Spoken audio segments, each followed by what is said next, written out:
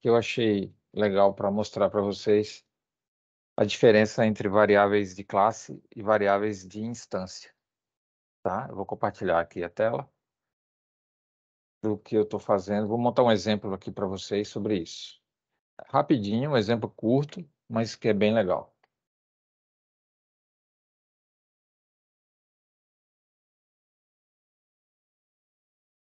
Vou criar uma classe de data field.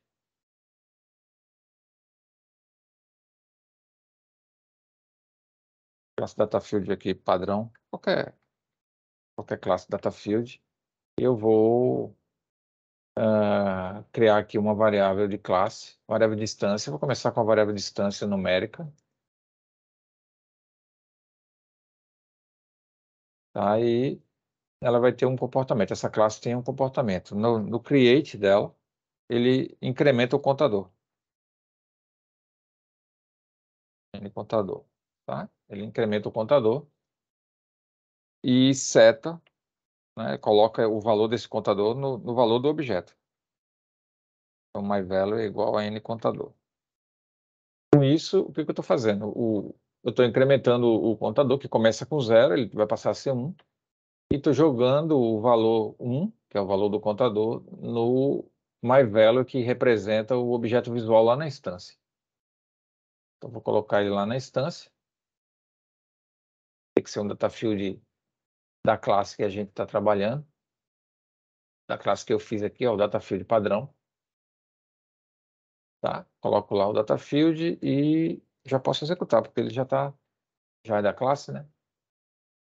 Ah, faltou colocar que o data field é number. Faltou isso. Data type dele é number.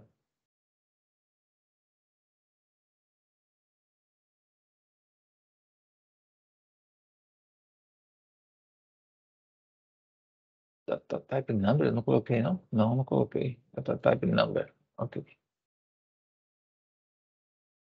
Então, ele roda ó, e ele executa o código, que é justamente o contador igual ao contador mais um, e ele, ele coloca o valor 1 no objeto visual, que é o contador.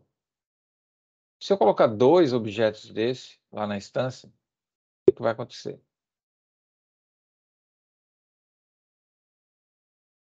Colocar 3. O que vai acontecer aqui? Vamos lá no código. Ele vai somar e vai colocar aqui o valor. Tá Somou, né? Contador, contador igual mais um. Contador igual contador mais um e colocou. Essa, é, esse é o comportamento da variável distância. Como ela é o nome instância significa que cada instância desse cara aqui na tela, ou seja, eu tenho três instâncias aqui, né? Cada instância contém uma variável n valor independente. Cada uma contém uma variável n valor. Se eu coloco que ela é da classe, olha o que vai acontecer. Se eu coloco, só mudei o tipo da variável, onde ela era instance variable, eu coloquei para class variables. Ela agora passa a ser uma variável de classe, significa que todas as instâncias dessa classe, todos os data fields que forem dessa classe, vão compartilhar o mesmo valor dessa variável. Então significa que eu não vou mais ter um, um, um lá na, lá na tela. Eu vou ter usando, eles todos vão usar a mesma variável. E aí isso vai dar um efeito legal para vocês entenderem. Ó. Lá, um, dois, três. Porque cada uma delas está usando a n contador que é da classe. Então, todos os data fields da mesma classe vão compartilhar a mesma variável e o mesmo valor. Tá?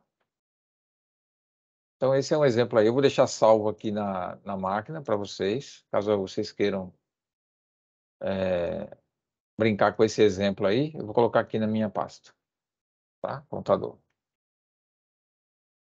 Vocês podem pegar aí para se divertir.